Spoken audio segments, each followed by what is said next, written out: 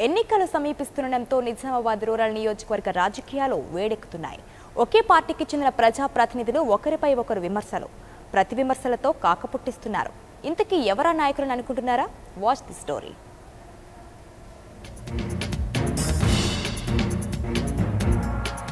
Nizamabad rural నియోజకవర్గంలో అధికార TRS party నేతల వర్గపోరు మళ్ళీ రచ్చకెక్కింది.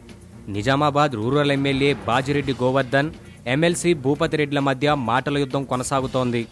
అధికార ప్రతిపక్ష పార్టీల నేతలు దుమ్మెత్తిపోసుకునే రీతిలో స్వపక్ష ప్రజాప్రతినిధులే ఒకరిపై ఒకరు అవినీతి ఆరోపణలు చేసుకోవడంతో పాటు ఘాటైన వ్యాఖ్యలతో విమర్శలకు దిగుతున్నారు.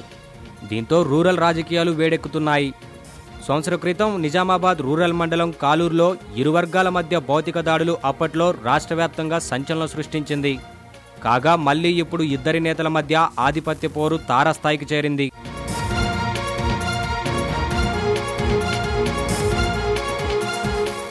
అయితే రూరల్ వర్గ పోరు మరోసారి రచ్చకెక్కడానికి ప్రధానంగా నిజామాబాద్ మార్కెట్ కమిటీ చైర్మన్ పదవే కారణం. అయితే మార్కెట్ కమిటీ నిజామాబాద్ అర్బన్ నియోజకవర్గ పరిధిలో ఉన్నప్పటికీ ప్రతిసారి రూరల్ నుంచి ప్రాతినిధ్యం వహిస్తున్న నేతలకే ఈ పదవి దక్కుతోంది. కాగా ఈసారి కూడా రూరల్ ఎమ్మెల్యే బాజిరెడ్డి గోవర్ధన్ అనుచర వర్గానికి పదవి ఇవ్వాలని పట్టుబట్టారు. దీనిని వ్యతిరేకించిన భూపతిరెడ్డి వర్గం ఏడాది పాటు ఆపగలిగింది. కానీ ఎట్టకేలకు ఈ పదవి విషయంలో బాజిరెడ్డి తన పంతం నెగ్గించుకుని తన అనుచరుడికి ఎంపీ కవిత సహకారంతో పదవి దక్కేటట్లు చేసుకున్నారు. దీంతో భూపతిరెడ్డి వర్గీయులు బాజిరెడ్డి వర్గీయులపై ఒంటికాలుతో లేస్తున్నారు.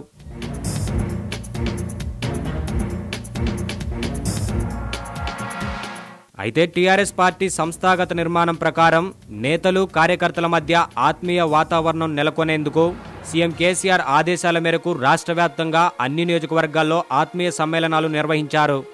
ఇందులో భాగంగానే నిజామాబాద్ రూరల్లో కూడా ఆత్మీయ సమ్మేళనాలను నిర్వహించారు. అయితే ఈ సమ్మేళనాల వేదిక మీదే నేతల మాటల తోటాలను పేల్చుకున్నారు.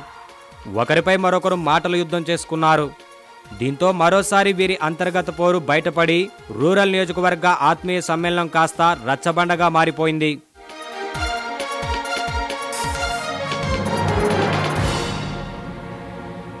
ఎన్నికలు సమీపిస్తుండడంతో నిజామాబాద్ రూరల్ నియోజకవర్గ గులాబీ దళం మధ్య వర్గపోరు తారస్థాయికి చేరడంతో పార్టీ ఎటుపోతుందోనన్న భయం పార్టీ నాయకులకు గుబులు పుట్టిస్తోంది.